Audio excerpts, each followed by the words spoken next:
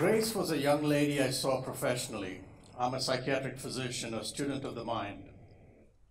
Grace was sensitive and wrote poetry. She struggled with negative emotions, horrible anxiety, and deep sadness. Her thoughts were consumed by catastrophic worry and that there was no hope because she was uh, worthless. She avoided human interactions, rarely venturing out of her home. When she did, she wore long sleeves even in the summer. Grace had experiences she described as feeling as she was disappearing, dissolving, being everywhere and nowhere. She found these frightening and wrote about them, her words. The confusion, pain, and despair in my head swirl so fast it becomes a maelstrom and I get lost.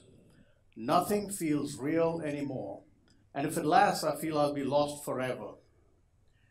My only salvation at these times is to cut the flesh of my left upper arm. The pain and the sight of blood are like throwing a rope to someone drowning in quicksand. It gives me something solid to hold on to, defining the boundaries of my body. It helps me know what is real and brings me back to that reality.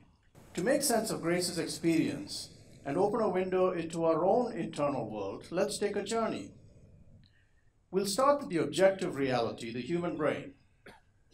Just as what the heart does is it pumps blood, what the brain does is it creates our mind. The mind is what we are conscious of. We'll journey internally into the mind, our uniquely individual and private world. We'll examine what we already know. Our mind is not a monolithic, consistent entity, constant as a northern star.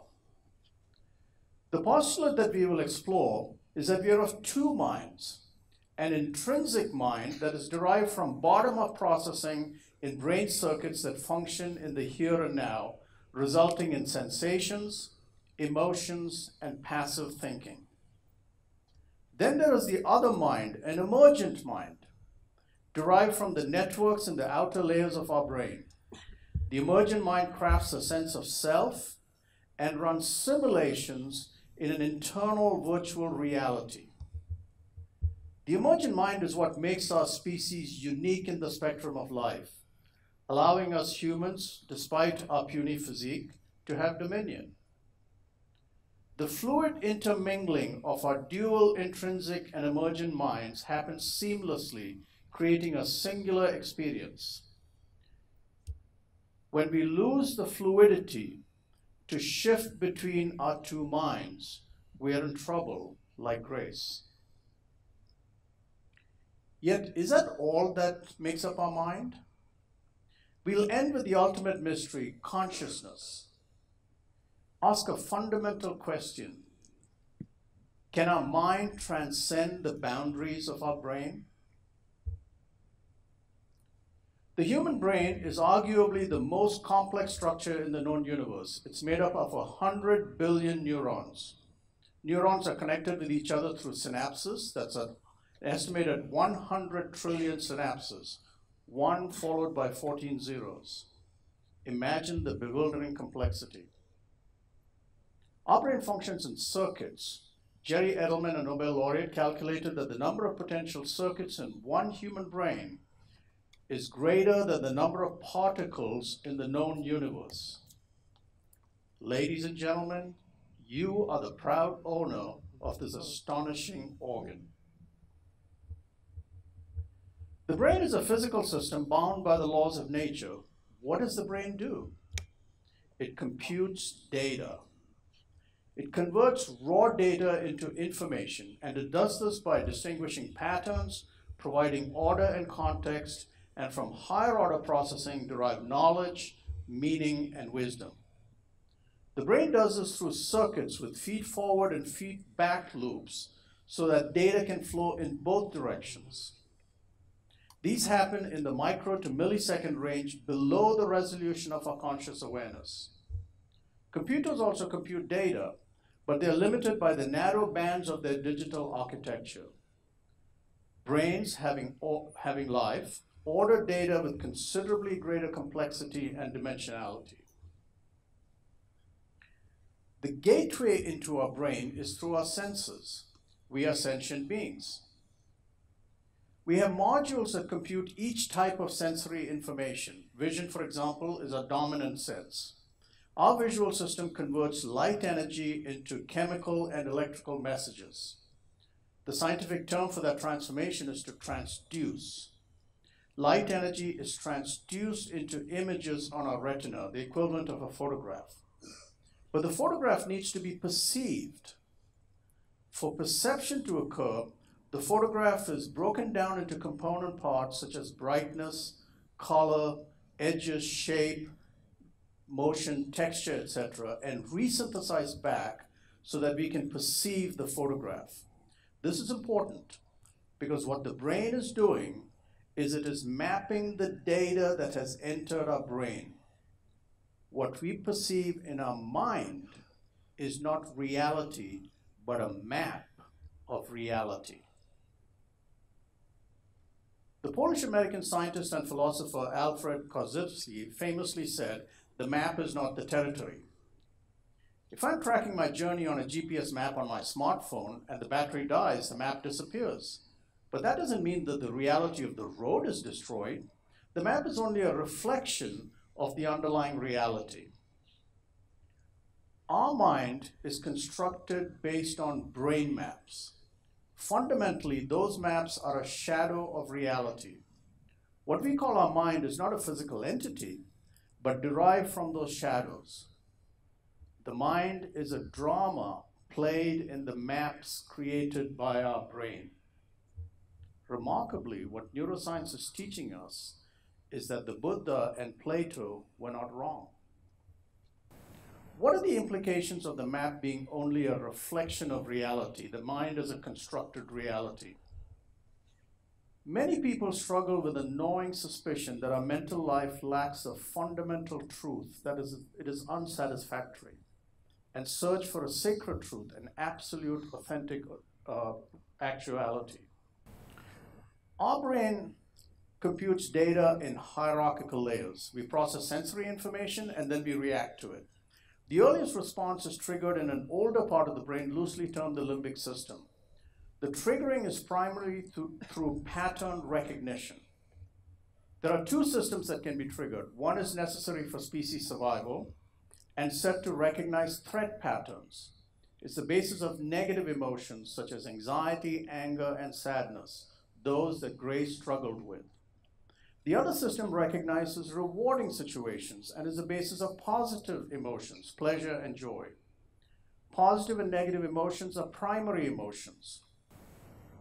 But they can be modified downstream so that we have the potential for numerous kinds of emotions. For example, threat in the social sphere is the basis of jealous feelings. Let's look at some of the characteristics of, of emotions. Emotions are felt experiences feelings framed by the vehicle of our body. Our sensory awareness is not just from the external world, we own a body. Its boundaries and the internal messages are also mapped in our brain. Emotions are framed by those somatic or body maps, which include visceral sensations from our gut, as well as chemical messages about the internal states of our body, such as from cytokines or immune messengers.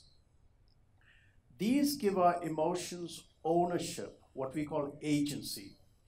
We are the agent experiencing them, giving us grounding, providing a stable context, a frame of reference, an embodiment, our personhood, the foundation of our multi-dimensional sensory self.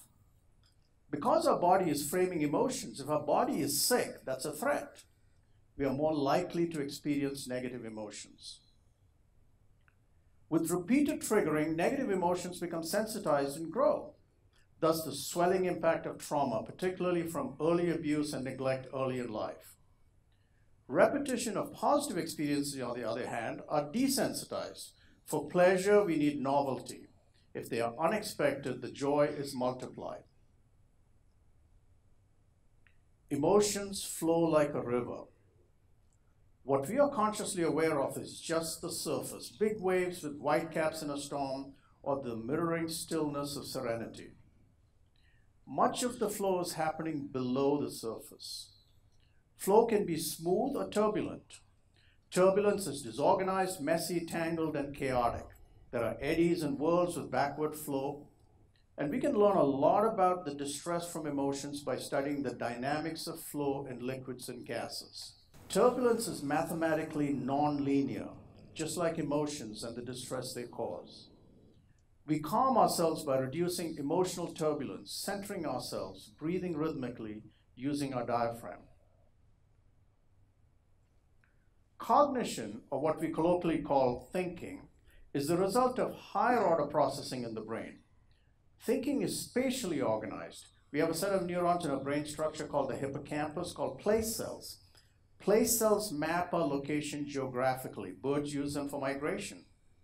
Place cells orient us, providing spatial organization, and the spatial grid becomes a foundation for organizing conventional memory and thinking.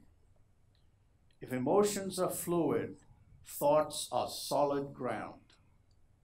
The mathematics underlying thoughts are more linear and algorithmic, providing a basis for proportion, sequencing in time, context, logic, and reason. Thinking can be passive if driven by bottom-up processing and controlled by emotions. Thus, anxious emotions make thoughts worrisome, and sad feelings convince one is a failure. Grace's thinking, her worry and sad thoughts were captive to her emotions of anxiety and sadness. Thinking were like wheels stuck in mud, spinning unproductively. What we've covered so far is the functioning of the intrinsic mind, from sensory mapping to emotions and thinking.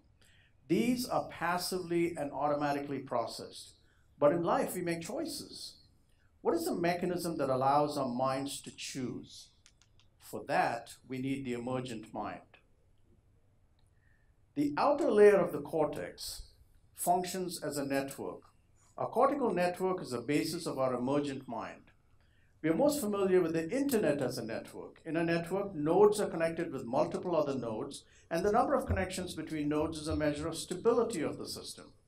Few nodes and few connections make the system simple and rigid. More nodes and more connections between them increases complexity. The greater the ratio of connections to nodes increases the stability of the system and transitions are smoother. Few connections between nodes make transitions abrupt and explosive. We have multiple nodes in our cortex. For example, there's one for recording faces, one for numbers, for music, understanding speech, converting thoughts into speech, inhibiting our emotional centers, and so on.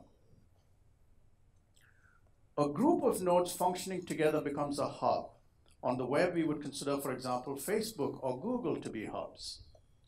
There are two major hubs in our cortical network in our brain, an anterior one that is the basis of our sense of psychological self, and this self is permeated with our biographical memories. This hub creates the perception of an observer in our mind. A posterior centered hub, called the default mode network, functions as the infrastructure for a virtual internal reality. Action here becomes the observed the self plays in this virtual space. Past memories are recalled and played like movies. Future scenarios are run as simulations so that we can choose between alternatives and craft a strategic direction for our lives. Get a degree from a leading university, for example.